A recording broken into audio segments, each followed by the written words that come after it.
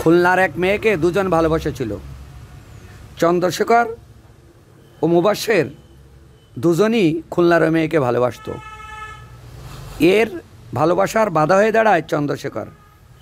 এই পথের কাটা সরাতে মুবাসের চন্দ্রশেখরকে পরিকল্পিতভাবে হত্যা করেছে। এই ধরনের চাঞ্চল্যকর তথ্য মিলেছে।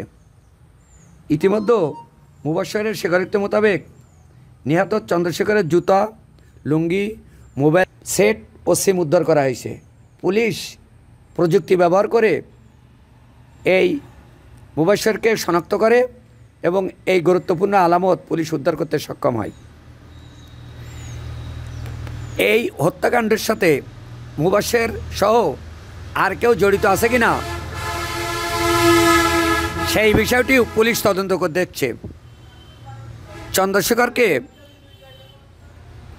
চন্দ্রশেখরকে ঘেরের টঙে পরিকল্পিতভাবে হত্যা করে মুবাসের এখন এখানে তদন্তের সাথে মুবাসের সাথে আর কে কে ছিল এ বিষয়টি পুলিশ বলছে না।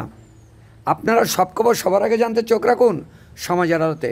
সমাজের আলো দায় সরা নাই দায়বদ্ধতার জায়গা থেকে সংবাদ প্রকাশ করে।